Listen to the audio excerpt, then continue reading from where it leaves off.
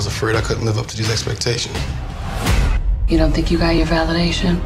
For me, this is the first time having a sequel to anything, so I was really excited about building on the characters. You got people that need you now. The second one, we wanted to make things a little bigger, bringing back Ivan Drago and his son Victor, and that history, that animosity with Creed and Rocky. It just made it that much more intense. This guy is dangerous. I ain't got a choice. That's the same thing your father said, and he died right here in my hands. You can always relate to an underdog story to the person who's fighting for something, who has passion. It was easy to want to be a part of something that was human. If you want to fight this man, that's your business. But don't pretend this is about your father. Ryan Coogler suggested Steven, and I was excited to work with Steven. I was really looking forward to building something with him. That looked good. That looked good. We understood it. He just wanted to go the distance. What a talented director he is. I could tell he was going to be great for this picture. It's not just us anymore, D. That's exactly why I can't lose.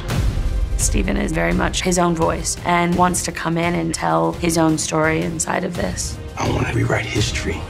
That's one of the challenges when you're getting passed the torch by two legendary filmmakers, and Sylvester Stallone and, and Ryan Coogler have been very helpful in saying, hey, this is what this world is like. How do we stay true to that while putting your own stamp on it? To see it played out in a new generation with a new guy, it was fantastic. It may not seem like it now, but this is more than just a fight. Well, Steven has been a blast. He's a really strong leader, and you want to follow him.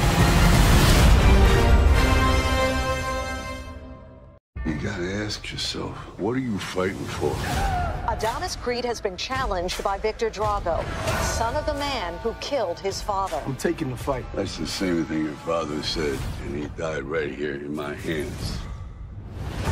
This kid was raised in hate. It's dangerous. This won't be the end of me. Or you. Because we're a team.